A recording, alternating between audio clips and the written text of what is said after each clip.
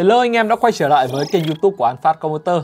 Bây giờ đã là khoảng cuối năm 2021, đầu năm 2022 là một khoảng thời gian cực kỳ tốt để sắm cho bản thân được một bộ PC sao cho phù hợp nhất.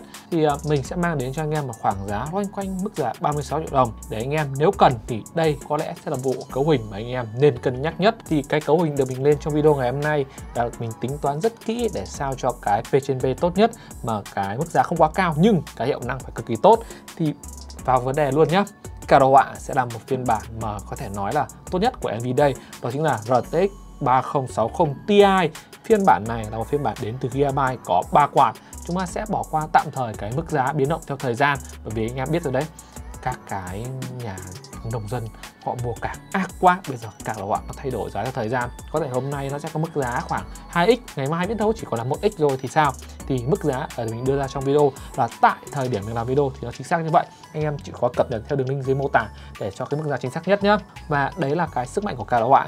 Thì đối với RTX 3060 Ti mình hoàn toàn tự tin khi mà chơi tất cả các tựa game trên độ phân giải là 2K còn chuyển sang phần CPU, CPU sẽ là Intel Core 5 11400F thì đây là một mẫu CPU thế hệ thứ 11 của Intel.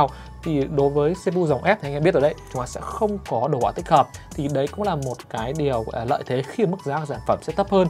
Thì hầu hết những anh em game thủ khi mà chơi game thì đều xuất hình thông qua cả đồ họa. Thế nên việc không có GPU tích hợp trong CPU sẽ không phải là vấn đề mà anh em game thủ đáng quan tâm. Tuy nhiên thì mình vẫn sẽ có một số những cái lưu ý, đó chính là cái CPU Intel Core i5 mặc dù là Intel Core i5 chúng ta có một hệ thống tản nhiệt đời mới ở trong vỏ hộp, nhưng hệ thống tản nhiệt đấy, anh em hãy giữ làm kỷ niệm đi và nâng cấp lên những hệ thống tản nhiệt. Ví dụ mình đang sử dụng ở đây là một bộ tản đến từ ID Cooling mức giá khoảng 500 đến 600 nghìn mà thôi. Cái à, những cái lợi thế khi anh em nâng cấp tản, thứ nhất là nhìn đẹp hơn và cái thứ hai nữa là tản nhiệt được CPU cho hiệu quả nhất. Bởi vì cái mẫu CPU Intel Core i5 anh em biết ăn bao nhiêu điện đâu. Khi mà chơi game cũng ăn loanh quanh khoảng chừng 100W điện rồi. Trong khi hệ thống tản nhiệt stock được theo kèm chỉ tản nhiệt cho mức điện khoảng 85W mà thôi. Thì rõ ràng đây chính một trong những lý do để anh em nâng cấp thêm tản nhiệt. Còn về hệ thống RAM RAM sẽ sử dụng đó chính là hai thanh RAM 8GB bus RAM là 3000 anh em có thể lựa chọn 3000 3002 đều được hết. Thì với hai thanh RAM này thì các bạn vẫn còn hai slot nữa để có thể nâng cấp thêm. Còn về phần main anh em biết rồi đấy, mình có thể sử dụng những cái mẫu main dòng B khác nếu anh em cảm thấy mức giá 36 triệu vẫn là hơi cả quá cao thì hoàn toàn có thể cân nhắc để giảm mẫu main xuống dòng B560 khác để cho cái mức giá tốt nhất. Thì ở đây là phiên bản B560 đến từ Top Gaming ta sẽ có những cái thiết kế cực kỳ đẹp. Nó sẽ có che chắn IO này, tản nhiệt cho cái khu vực và VRM đều ổn định để có thể sử dụng lâu dài. Vỏ cây được mình lựa chọn thì à, hơi to một chút, anh em có thể lựa chọn những cái vỏ cây bé hơn. Vỏ micro ITX thì khi đấy thì trong bộ PC sẽ là gọn gàng hơn. Còn phần LED RGB thì mình tạo ra mình không lắp vào đây để cho anh em thấy được là khi anh em bỏ ra khoảng 36 triệu đồng thì nhìn trên video như nào thì mang về sẽ là y hệt như vậy. Tất nhiên mức giá là tại thời điểm mình làm video nhé và bây giờ thì mình sẽ vào luôn vấn đề test game ở trình độ phân giải là 2K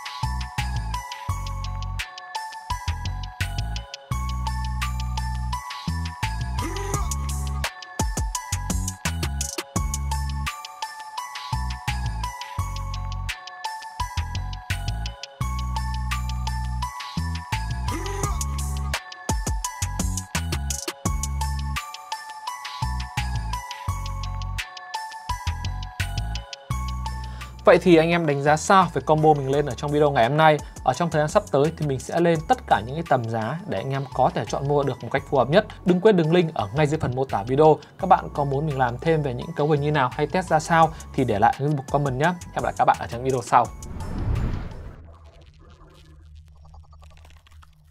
Xin cảm ơn tất cả các bạn đã theo dõi hết video này và nếu như có thắc mắc về bất kỳ sản phẩm hay chương trình khuyến mại nào thì đường link tư vấn miễn phí cũng như là mua hàng mình sẽ để ngay dưới phần mô tả của video.